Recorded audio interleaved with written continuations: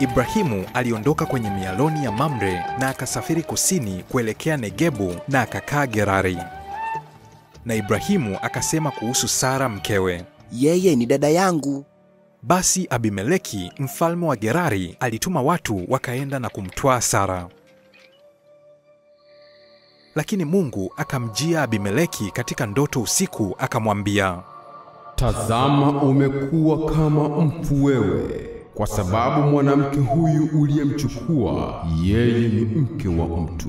lakini Abimeleki alikuwa hajamgusa Sara.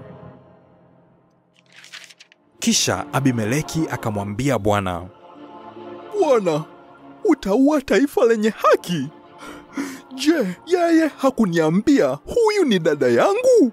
Na yeye mwenyewe akasema huyu ni ndugu yangu. Nimefanya haya yote kwa moyo mkunjufu na kwa mikono safi. na Mungu katika hiyo ndoto akamwambia, Ndiyo, najua ya kwamba kwa uadilifu wa moyo wako umefanya hivi. Ndipo nami nitakuzuia usinitende dhambi.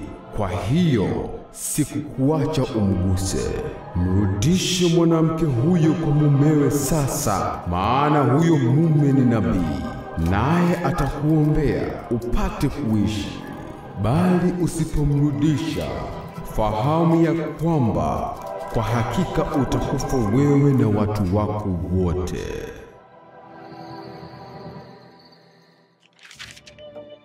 Abimeleki akaamka asubuhi na mapema, akawaita watumwa wake wote, akawaambia maneno hayo yote masikioni mwao, na hao watu wakaogopa sana.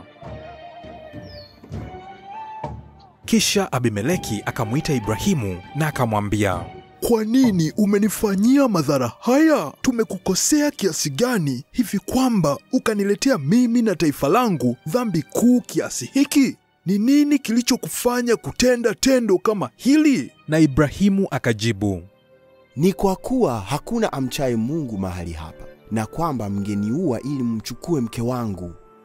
Naye kweli ni dada yangu, binti wa baba yangu, ila mama tofauti. Ndipo akawa mke wangu. Ikawa hapo Mungu aliponifanya nisafiri kutoka nyumba ya baba yangu, nikamwambia, hii ndiyo fadhili yako utakayonifanyia. Kila mahali tuingiapo useme, huyu ni ndugu yangu.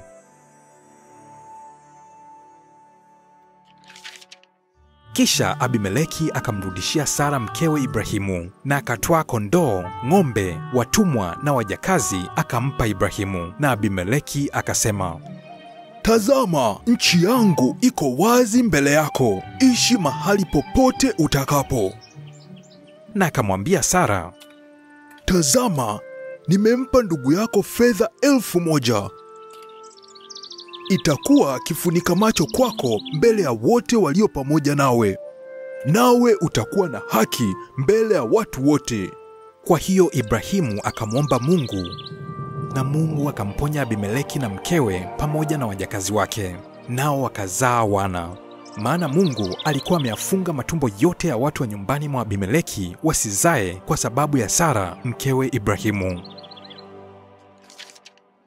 Abimeleki akasema, nchi yangu iko mbele yako, ishi upendapo. Naye akamwambia Sara, tazama, nimempa ndugu yako fedha elfu moja. Itakuwa kifunika macho kwako mbele ya wote walio pamoja nawe, nawe utakuwa na haki mbele ya watu wote. Mwanzo ishirini mstari wa 15 mpaka wa 16.